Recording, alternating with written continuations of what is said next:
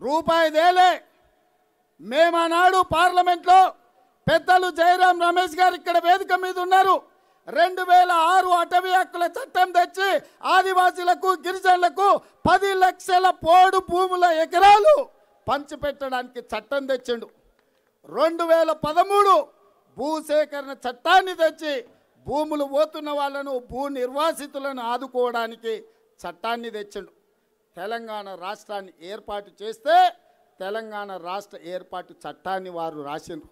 అందులో వారు ఈ తెలంగాణ రాష్ట్రాన్ని అభివృద్ధి చేయాలి అంటే బయ్యారం ఉక్కు కర్మాగారం నిర్మించాలి వేలాది మంది గిరిజనులకు ఉద్యోగాలు ఇవ్వాలి అనుకున్నాడు. రైల్వే కోచ్ ఫ్యాక్టరీ కాజిపేటలో నిర్మిస్తే తెలంగాణ నిరుద్యోగ యువకులకు ఉద్యోగాలు వస్తాయని రైల్వే కోచ్ ఫ్యాక్టరీ ఇచ్చిండు. ట్రిపుల్ ఐటీ ఇచ్చిండు.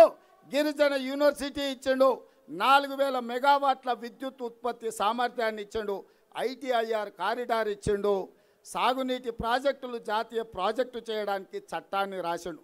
నేను అడుగుతున్నా ఉక్కు కర్మాగారం రాలే రైల్వే కోచ్ ఫ్యాక్టరీ రాలే గిరిజన యూనివర్సిటీ రాలే ఎయిమ్స్ రాలే ఐఐటి రాలే ఐటీఐఆర్ కారిడార్ రాలే జాతీయ సాగునీటి ప్రాజెక్టు రాలేదు తెలంగాణను నిండా ముంచిండ్రు.